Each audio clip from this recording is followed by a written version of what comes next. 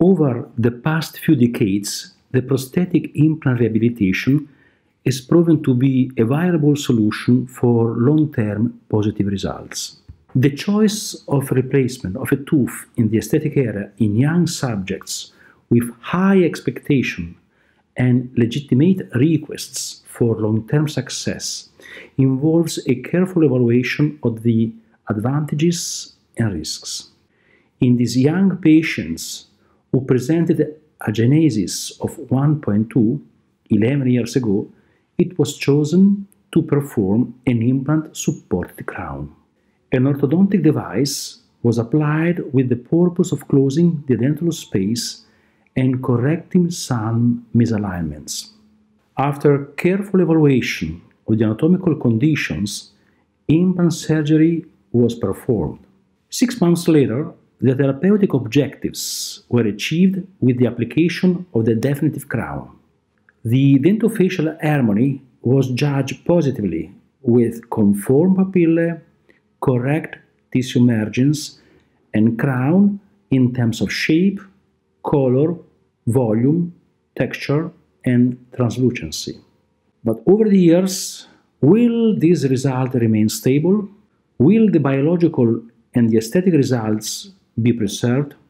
Will the patient participate properly with the personalized supportive therapy program? This, together with others, are the questions we must ask ourselves to understand if our choice have been right or not. Well, after 11 years, something has changed. From a biological perspective, the system is in healthy condition, but the patients express a more than motivated aesthetic discomfort. The crown is approximately 2 mm apically positioned by extrusion of the natural elements. In the intraoral image, you can observe the gingival recession of 2.2 and 2.3, of which the patient it is only minimally aware, and in any case, this does not generate any aesthetic inconvenience, while the serious imbalance with the incisal edge creates disharmony. The analysis has been expanded on a micro aesthetic level in the various projections. And looking deeply, intraorally, we may say that the, the results may be not judged positively.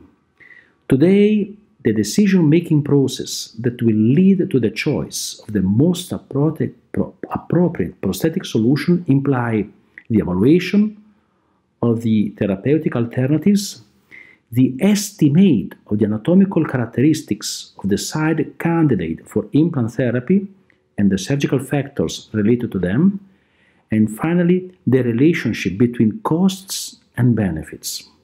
Recently, in International Journal or Maxillofacial Implants, Polymeri and co-authors published this paper. The title is Occlusal Migration of Teeth Adjacent to Implant Prosthesis in Adults, a long-term study, in which it appears clear that infraocclusion of a single implant supported maxillary anterior restorations may result in aesthetic concern over time. Greater infraocclusion occurs in delayed implant placement and in younger uh, individuals. So the conclusion is that in young patient in the anterior area, probably alternative solution to crown supported by implants are better solution compared to crown supported by implants.